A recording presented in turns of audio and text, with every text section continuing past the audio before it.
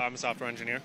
Okay, how much do you make? 191k How long have you been doing it? a year now, so not long. I'm a senior software engineer in fintech. Amazing. How long have you been doing it? Uh, I've been in fintech for five years. Five years. And how much do you make? I currently make 158,000 a year. I'm a software engineer. Cool. How long have you been doing it? This stint, uh, seven years. How much do you make? I currently make 155,000 a year. I'm a software engineer. How long have you been doing it? Uh, about six years. How much do you make? My base salary is like about 200, depending on how stock is when It comes to like about maybe 400 or 500. I'm a software engineer, uh, mobile apps. Okay. How much do you make?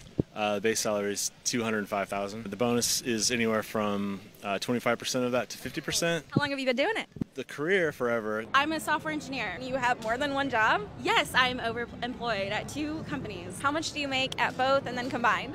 At one, it's 125, and at another, it's 112 base plus 20 RSUs and 10 sign on. Definitely over 200K easy. I'm a software engineer. Awesome. How long have you been doing it?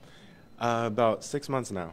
Six months. Okay. How much do you make? I'm at 90,000 salary right now. So I'm a senior software engineer. Senior software engineer. Yeah. And how long have you been doing it? Um, I think around uh, 15 years now. 15 years. Wow. And how much do you make? Uh, I make around 150. Nice. Uh, that is the base. Do you know how much your total compensation looks like with all of that included? I can say around 200,000.